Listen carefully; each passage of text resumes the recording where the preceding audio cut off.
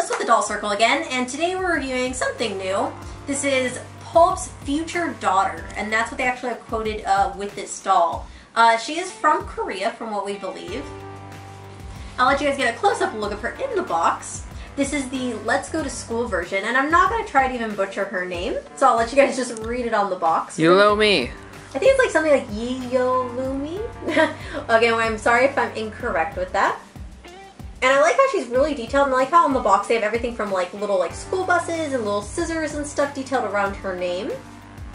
She is wrapped in plastic on the inside, as you can see, to uh, preserve her hair in the way that it's going to stay down with the bangs and stuff.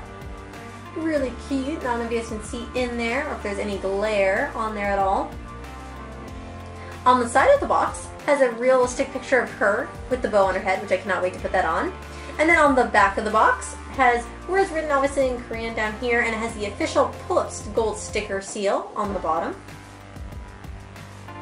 I love the coloring of the box on this, and I cannot wait. All three of us got the exact same doll, so we're all going to be opening this up together with you and showing her in more detail. Like I said, she's the future daughter of Pullip, so she's not a Pullip doll. But from what I've seen in other reviews and stuff, she's going to be very similar to just a regular Pullip doll. Um, we None of us had that one open, so if not, we would have had one next to her. But let's get her out of the box and get her closer look to her so you guys can see what this doll is all about. We are in love. That's the first thing we gotta say. So we're gonna show you in three different steps how this doll is boxed and unboxed and everything. So yes, we took all three of them out, but I'll let Robin start off first. So she is put in the box like a normal doll. She doesn't, she's not attached like through the hair, thank goodness, like a Monster High is. She's just wrapped around the neck and then like kind of strapped in. Pretty easy to remove. All her accessories are bagged individually. And she came with this like, it's not a sticker, but it's like a little paper and it has like her, oh, her like bio like and stuff. Like, kind of like a trading card. Yeah. yeah. And easy to remove, all our accessories. Her legs come wrapped up. And she's really, and her hair. Her hair comes like, it's supposed to be like long like the picture, but it's like section, like pigtails, which also looks cute. But this doll's really heavy, like, she cannot, like, I'm kind of sad it doesn't come with a stand. Yeah, no stand. I'm not removing this one's close. After last time. But yeah, I like how it's all individually wrapped, and then I uh, hope you took a long enough shot so you guys can pause this. There's a lot of misspellings on this, but it's really cute, and it says, uh, Pullip's future daughter, and then it says everyone should have a daughter like her, her charming eyes, or sparkling eyes, adorable nose, charming lips, and then they misspelled a lot, but I'll read it to you anyways. Uh, she would look perfectly cute in this innocent little girl and a lot of charm. Uh, also says that she's supposed to be 10 years old. She is in elementary school, and she likes a lot of stuff like learning magic, collecting dolls, of course, pudding, and she likes to eat her mom's rice. So that's really adorable on these little cards, and it's like her in cartoon form. Now, I have her fully dressed here in mine with the hair unwrapped. So it's got this beautiful curls, and they're so bouncy, and her hair is such good quality.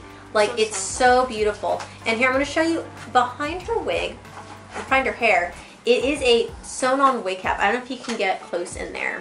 The wig cap is glued to her, so it's not. Yeah, it's glued on. So if you guys wanted to give her a new wig, you'd have to cut it off. Now, as you can see, there's a little, like, button right underneath here. Like, let me see again. Oh, yeah. There's a little lever right here. And you're probably wondering, what does this lever do? I will show you. So, Chase, will you get a close-up of her eyes? Thank you, Kara, for holding the doll. Tilt. Yeah. Can you see her eyes moving? Yes. Her eyes move left to right. A normal Pullip doll, you can close one eye, blink it, you can blink both eyes, you can move the eyes around. This one only goes left to right, but that's still awesome. We weren't even expecting her to do that. So, as you can see, she goes left to right. Awesome. And this is her with all of her accessories on, her shoes on. She has these cute blue kitten heels. And they look like they stay on pretty good. I still be afraid if they fall off. Like I said, she is very heavy though. And then she's got this headband, which does not stay on very well at all. As you can see, it's like barely stays on, but looks really cute on her. And she's got her little purse, which has a purse drawn on it. I'll let Kara show the accessories that it came with. So if you guys are familiar with Barbies and how the shoes feel like very plasticky and like squishy, that's what these feel like. And basically they just look like You just leave it on the table. No, so look like that. And then You, of course, you have the little. It looks like a tote bag, pretty much. That's what I was trying to think of. I couldn't think of yeah, like a tote, and then with a little designed purse on there, and of course the headband, which I'm pretty sure says her name. Mm-hmm. Oh, it does. Her say her circles, name, and so is her skirt. That's really cool. I don't think like her clothes are probably removable, but they're all sewn together on there, so I don't want to take it off. that and also because I just don't have spare clothes for her to wear, so I don't really want to take her apart. But I love them though. I love how everything's pieced and how everything just looks so well together. I like how she is heavy. I don't like that she doesn't come with a doll stand, which is kind of a negative for us. We're like, oh, she needs a doll stand. Because she literally, well, She's top heavy. She can sit, but you have to put put her against like a book. yeah. But she is very sweet looking. Yeah, and here I'll let Chase forty get dollars. I'll let Chase get close up to her face so you guys can see. And again, her hair is just so soft. Like, I love it. Oh, where's the scissors? Oh, here it is.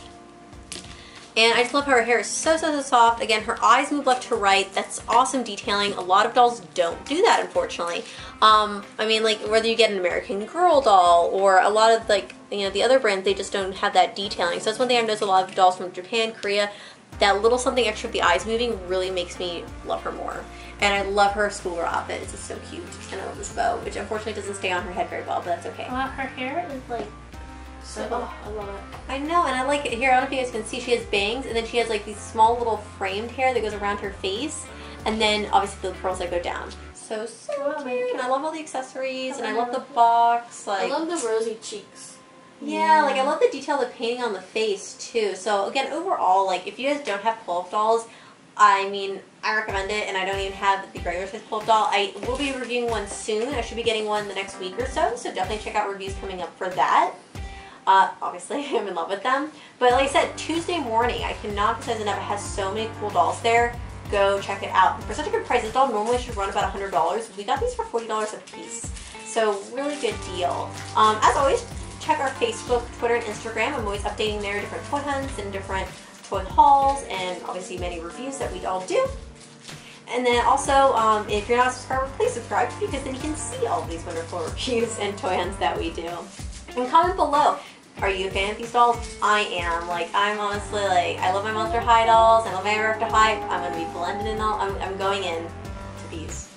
So expect more reviews of Pullip dolls. And I'm Yumi. Again, I'm sorry if I'm not saying that right. I'm probably not. so thank you for watching, you guys, from all of us. And I appreciate it.